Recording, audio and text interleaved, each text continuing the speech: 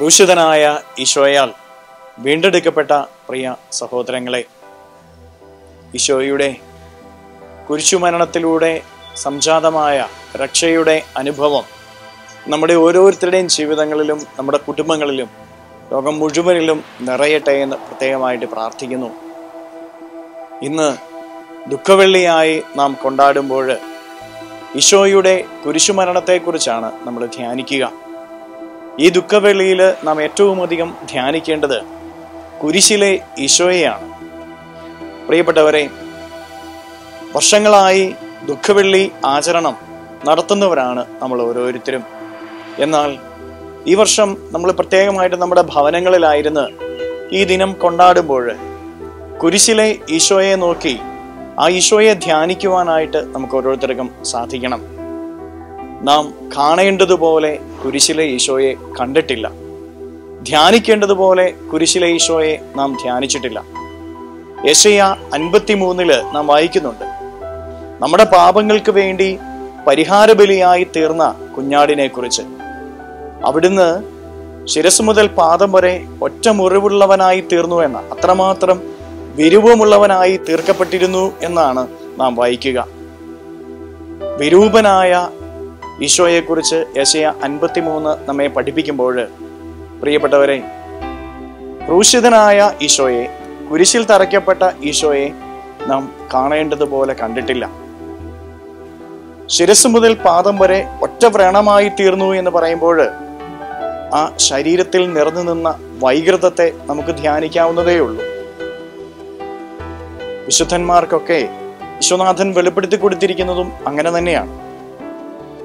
ഈശോ വൈരൂപ്യമുള്ളവനായി തീർന്നത് എന്റെയും നിങ്ങളുടെയും ഒക്കെ പാപങ്ങൾക്ക് പരിഹാര ബലിയായി തീർന്നുകൊണ്ടാണ്.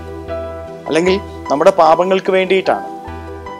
നാം ഓരോരുത്തരും ഏറ്റുവാങ്ങേണ്ടിയിരുന്ന ആ വൈരൂപ്യമാണ് ഈശോനാഥൻ ഏറ്റുവാങ്ങിയത്. പ്രിയപ്പെട്ടവരെ എങ്കിലും അതിനെ ഒന്ന് ധ്യാനിക്കുവാനോ അതിനെയോർത്ത് വേദനിക്കുവാനോ നമുക്ക് ആർക്കും പലപ്പോഴും സാധിക്കാറില്ല. അതുപോലെ തന്നെ ഇന്ന് നാം ചിന്തിക്കേണ്ടത് ഈശോയുടെ കുരിശുമരണത്തിന് നാം എന്ത് വില കൊടുത്തിട്ടുണ്ട് എന്നുള്ളതാണ്. കുരിശിൽ ഈശോ എനിക്ക് വേണ്ടി മരിച്ചു. ആ മരണം ഞാൻ എല്ലാ വർഷവും ഒരു ആചരണമാക്കി തീർക്കാറുണ്ട്. പക്ഷേ ആ ഈശോനാഥൻ കുരിശിൽ അർപ്പിച്ച ആ യാഗത്തിന് ദൈവപിതാവിന്റെ പക്കൽ വലിയ വിലയുള്ളതായിരുന്നു. അതുകൊണ്ടാണ് നിത്യമരണത്തിൽ നിന്നും നാശത്തിൽ നിന്നുമൊക്കെ നാം വീണ്ടെടുക്കപ്പെട്ടത്. എന്നാൽ പിതാവായ ദൈവം വില കൊടുത്ത ആ കുരിശിലെ മരണത്തിന് എന്റെ വ്യക്തി ജീവിതത്തിൽ ഞാൻ എന്ത് വില കൊടുക്കുന്നുണ്ട്?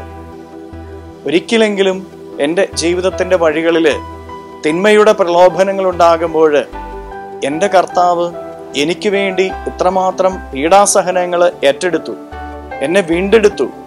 ആ വീണ്ടെടുപ്പിന്റെ അനുഭവം എന്റെ വ്യക്തി ജീവിതത്തിലേക്ക് ഞാൻ ഏറ്റുവാങ്ങണമെങ്കിൽ പാപത്തിന്റെ വഴിയിലൂടെ സഞ്ചരിക്കരുത് എന്നുള്ള ഒരു ചിന്ത നമ്മുടെയൊക്കെ ജീവിതത്തിലേക്ക് കടന്നു വന്നിട്ടുണ്ടോ? ഈ ദുഃഖവെള്ളിയാഴ്ച നാം ആചരിക്കുമ്പോൾ പ്രിയപ്പെട്ട ദൈവമക്കളെ ഈ ഒരു ചിന്ത നമ്മുടെ ഓരോരുത്തരുടെയും ഹൃദയത്തിൽ ഉണ്ടായിരിക്കണം ഈ ഒരു വേദന നമ്മുടെ ഹൃദയത്തിൽ ഉണ്ടായിരിക്കണം എനിക്ക് വേണ്ടി ഈശോ ഇത്രമാത്രം വൈരൂപ്യമുള്ളവനായി തീർന്നു. ഞാനായിരുന്നു ഈ വിരൂപനായി തീരേണ്ടിയിരുന്നത്.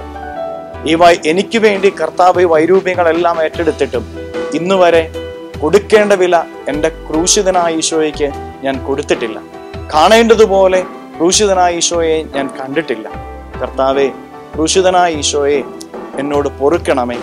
എന്റെ പാപങ്ങൾക്ക് പരിഹാര ബലിയായി തീർന്ന അങ്ങയെ ഇനിയും വേദനിപ്പിക്കാതെ ഇനിയും ഈ ക്രൂശിലേക്ക് നിന്നെ വിട്ടുകൊടുക്കാതെ എന്റെ ജീവിതത്തിന്റെ വഴികളിൽ വിശുദ്ധിയുടെ മാർഗത്തിലൂടെ സഞ്ചരിക്കുവാൻ എനിക്ക് കൃപ നൽകണമേ എന്ന് കർത്താവിന് മുമ്പിൽ നമുക്ക് പ്രാർത്ഥിക്കാം. ക്രൂശിതനായ ഈശോ നമ്മെല്ലാവരെയും അനുഗ്രഹിക്കട്ടെ.